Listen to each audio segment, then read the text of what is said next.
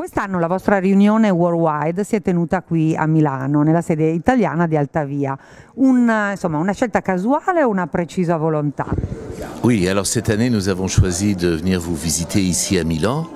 Et la raison principale, c'est que très bientôt, vous allez être le centre du monde avec euh, l'exposition universelle. Et du coup, euh, on a jugé que c'était un bon moment pour venir vous visiter.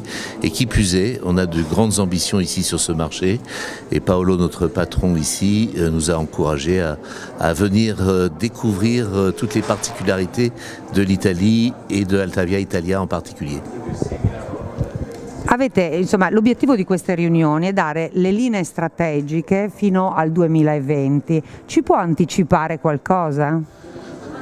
Alors effectivement, euh, nous avons euh, décidé euh, d'un plan stratégique pour 2020. Chez nous, ça Eh, s'appelle ognuno, noi Move abbiamo 2020. un Move 2020, quello che Make chiamiamo Our Vision Move Effective.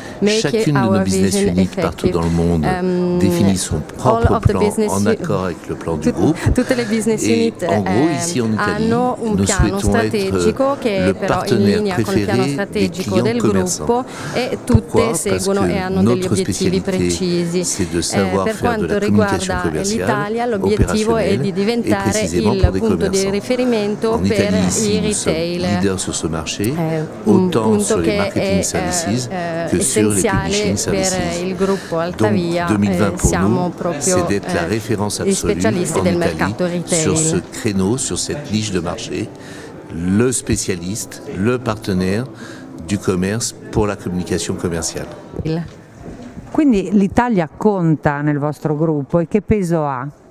Oui, c'est une question importante, mais c'est une question à laquelle on ne répond pas. Mais quand même, j'ai donné une indication.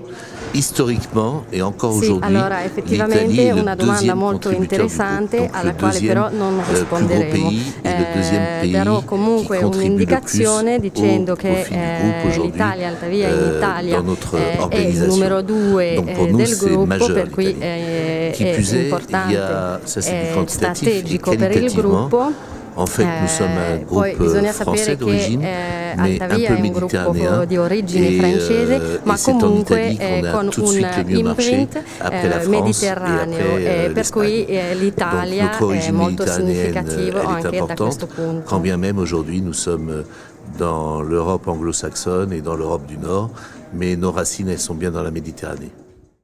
In Italia Altavia si sta posizionando certamente appunto come punto di riferimento per i retailer, ma anche per l'ottica con cui Paolo Mamo interpreta la comunicazione. Lui lo chiama marketing human 3.0, a indicare insomma che si va oltre il eh, normale progetto per abbracciare progetti poliedrici anche che passino e che sposino l'ambito sociale, l'ambito territoriale, insomma win-win anche per la collettività. Vi piace questa dimensione e quanto insomma vi Quand on travaille pour le retail, on travaille pour les clients de nos clients et c'est des millions et des millions et des millions de clients. Allora, Donc forcément, eh, noi les gens que siamo nous sommes eh, un gruppo che sont si aussi fa euh, ehm, des citoyens, comunicazione sont aussi euh, commerciale des per humains i nostri et on est clienti, beaucoup, i nostri nous, sur la clienti a loro communication volta relationnelle. hanno i propri Donc, clienti e chi inévitablement, sono et queste surtout persone? ici en- chi siamo noi? en Siamo Italie, tutti avec cittadini, une per cui personnalité comme è Paolo, normale per noi, è bien sûr, nous ne nous importante fermons pas eh, des la marchés, comuni- il et surtout relazionare, quand il il s'agit relazionarsi d'aider con le ici, persone, et plus per cui particulièrement, eh, con soit la in più in communauté de Italia una Milan, soit la ville personalità de come Milan, quella soit di Paolo encore, Mamo, euh, l'exposition che è una universelle dans persona le cadre che de son eh, si organisation. impegna molto Donc c'est tout à fait normal. anche Et qui plus est, je rajouterais que le groupe Altavia a historiquement des devoirs citoyens, Expo, euh, eh, s'inscrit eh, dans ce qu'on appelle euh, en France la RSE, euh, le développement durable, et forcément que notre action au quotidien, quand bien même elle est commerciale, peut avoir aussi des implications humaines, relationnelles, citoyennes. A proposito di Expo, lo nominavamo all'inizio della nostra chiacchierata, appunto ed è uscito anche riguardo all'impegno di Paolo Mamo. Altavia ci sarà, che progetti avete in serbo?